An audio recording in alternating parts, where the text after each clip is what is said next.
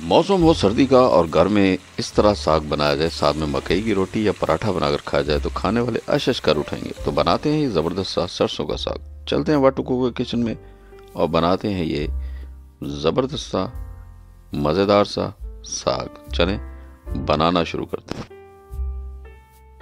बिस्मिल्लाहिर्रहमानिर्रहीम। देखिए आपको सुनते हैं आपकी वीडियो शादी का सलाम। साग बनाने के लिए आधा किलो पालक एक किलो सरसों के पत्ते डंडल समेत एक पाव हरी मिर्ची और एक पाव बाथू।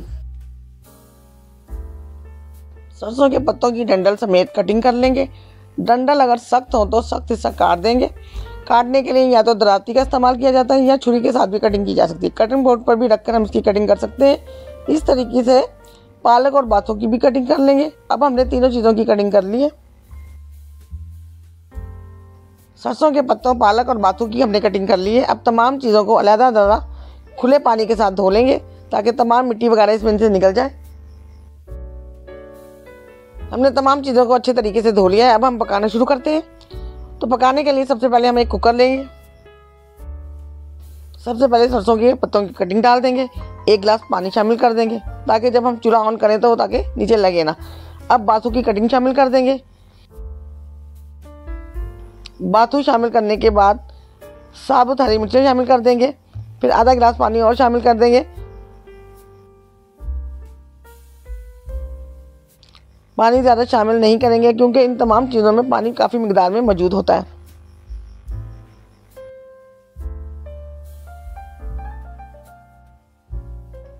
बाकी बच गई है पालक। कुकर में जगह कम है, लिहाजा थोड़ी पालक शामिल कर देंगे। बाकी बाद में शामिल करेंगे। चूल्हा ऑन करेंगे हाई फ्लेम पे कुक करेंगे।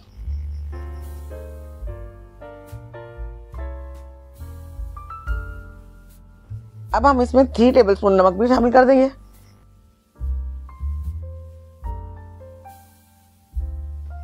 थोड़ा चम्मच की मदद से इसको नीचे दबा देंगे। पानी जो इसके अंदर मौजूद है, उसके उबाल पर तमाम चीज़ें थोड़ी नीचे चली जाएँगी और जो पालक बच गई है, उसकी जगह खुद ब खुद बन जाएगी।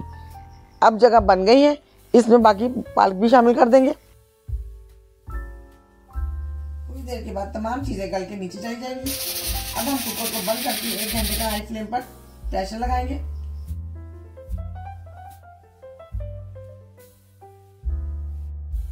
एक घंटे के बाद ढक्कन हटाएँगे। देखिए हमारा साग अच्छी तरह से गल गया है। अब हम साग को स्टेन कर लेंगे।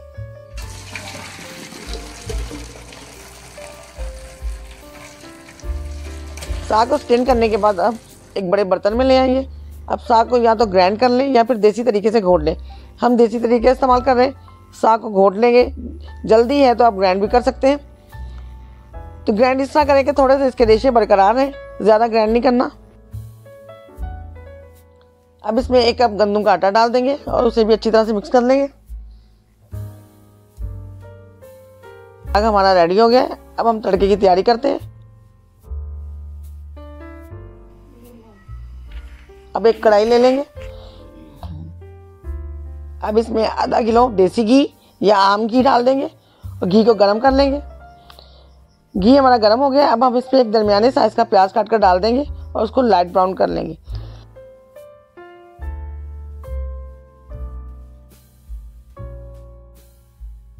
प्याज हमारा लाइट ब्राउन हो गया है। अब इसमें वन टेबलस्पून अदरक और वन टेबलस्पून लहसुन चॉप करके डाल देंगे। उसको भी हम थोड़ी देर के लिए फ्राई कर लेंगे।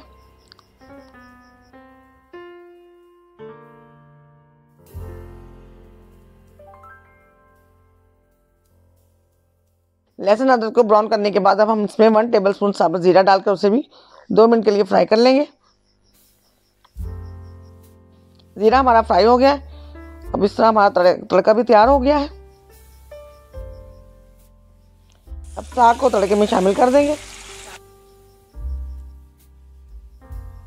वाह रे वाह, तड़के में शामिल होकर साग तो कमाल का बन गया है। कमाल का जायका होगा इस साग का, जब इस तरह का तड़का साग को लगाया जाएगा। साग को सर्दियों में ज़रूर इस्तेमाल किया करें, यह बहुत ज़्यादा फ़ायदेमंद चीज़ है। साग में सारा कमाल तड़के का होता है। अगर मक्खन और देसी घी से तड़का तैयार किया जाए तो साग बहुत ही लजीज बन के तैयार होता है। तो जनाब, हमारा साग बिल्कुल तैयार हो गया है। साग के तड़के ने हमारे घर में हर तरफ़ खुशबू फैला दी है। घर पर इसी तरह साग का तड़का तैयार करें। बहुत ही मज़ेदार साग बनता है। जो भी खाएगा, आपके साग की तारीफ़ करेगा। मोहल्लेदार ज़रूर आपसे साग लेने के लिए आएँगे और जाते जाते कहेंगे कि जब भी आप साग बनाएँ तो थोड़ा ज़्यादा बनाएँ और हमारे लिए घर पर ज़रूर भेजें। तो देखा साग ने आपकी मोहल्ले में कैसे इज़्ज़त बढ़ा दी और आपके साग की फ़ैन फॉलोइंग बढ़ गई। आपको हमारी वीडियोस कैसी लगती है, अपने फीडबैक से हमें आगाह करें। नए देखने वाले हमारे चैनल को ज़रूर सब्सक्राइब करें। अब इस गर्मा गर्म साग में हम घर का बना हुआ मक्खन शामिल करेंगे। साग का ज़रूर इस्तेमाल किया करें, बहुत ही फ़ायदेमंद डिश है। मक्खन के कुछ टुकड़े साग में डाल देंगे। मक्खन आहिस्ता आहिस्ता मेल्ट हो जाएगा और साग के जायके में मज़ीद इजाफा कर देगा। क्योंकि साग अभी गर्म है, मक्खन मेल्ट होना शुरू हो गया है। साग के साथ या तो मकई के पराठे बना लें।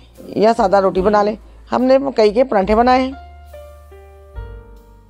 अब वक्त आ गया है कि हम साग को डिश आउट करें लेकिन डिश आउट करने से पहले हम इसका नमक चेक कर लेंगे। नमक हमारा परफेक्ट है। हमने मकई के पराठे बना लिए हैं।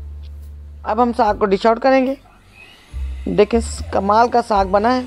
इसे मकई की रोटी, सादा रोटी या पराठे के साथ इंजॉय करें और घर वालों को भी सर्व करें।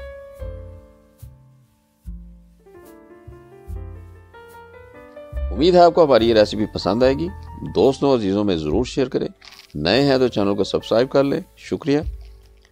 नई रेसिपी के साथ जल्द हाजिर होंगे। तब तक के लिए इबली और शादी को इजाज़त दीजिए। अल्लाह हाफिज़। Very tasty.